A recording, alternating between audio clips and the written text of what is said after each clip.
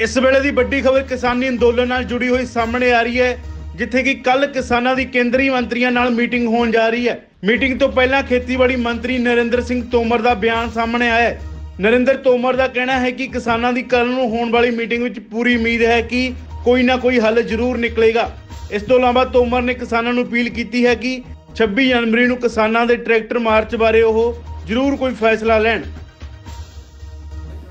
ਭਾਰਤ ਸਰਕਾਰ किसानों के प्रति पूरी तरह प्रतिबद्ध है। मोदी जी के नेतृत्व में छः वर्षों में किसान की माली हालत सुधारने के लिए और कृषि को मुनाफे में लाने के लिए अनेक प्रकार की योजनाओं का सृजन किया गया है। हम लोगों ने एमएसपी को भी डेढ़ गुना किया और पीएम किसान सम्मान निधि के माध्यम से पिछहत्तर हज़ार करोड़ रुपया प्रतिवर्ष किसानों को देने का प्रावधान किया गया है, जिसका लाभ किसानों को मिल रहा है।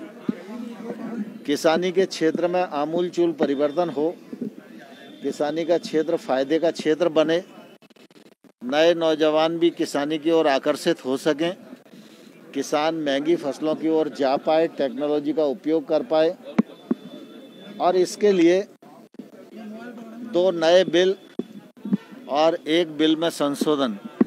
ऐसे तीन नए कानून एक तौर से बनाए गए हैं। कुछ राज्यों में इन कानूनों से किसानों को आपत्ति है। जो किसान आंदोलन पर हैं, उनसे नौ चरण हम लोगों ने चर्चा की है। और मैंने हमेशा ये कहा है कि किसान यूनियन के लोग प्रावधान पर चर्चा करें और जिस प्रावधान से किसान को तकलीफ़ है उस प्रावधान पर विचार करने के लिए और उसमें संशोधन करने के लिए सरकार खुले मन से चर्चा कर रही है और करना चाहती है।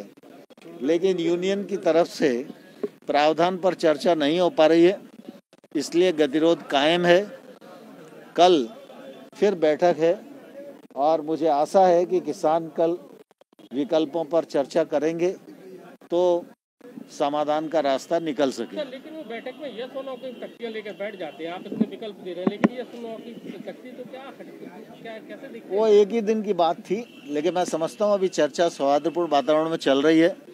और कल जो चर्चा होगी संभवतः वो लोग विकल्पों पर विचार करेंगे चर्चा करेंगे तो रास्ता निकलेगा छब्बीस जनवरी को उन्होंने ट्रैक्टर मार्च निकालने के लिए कहा है। मैं आपके माध्यम से सभी किसान यूनियंस को अनुरोध करना चाहता हूँ कि 26 जनवरी हमारा गणतंत्र दिवस है, ये राष्ट्रीय त्यौहार है।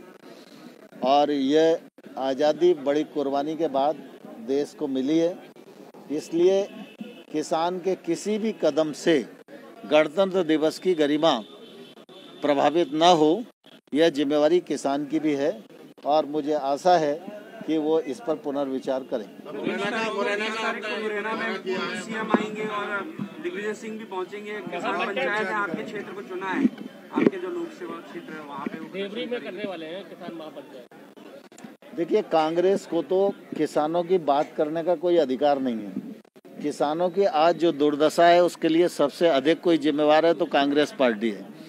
जहाँ तक नए रिफॉर्म का मामला है कांग्रेस पार्टी ने 2019 के अपने मैनिफेस्टो में इस प्रकार का वायदा जनता से किया था। कांग्रेस पार्टी को पहले प्रेस के सामने आकर अपने घोषणा पत्र से मुकरना चाहिए, तभी किसान बिलों के संबंध में कोई बात करने का उनका अधिकार बनेगा।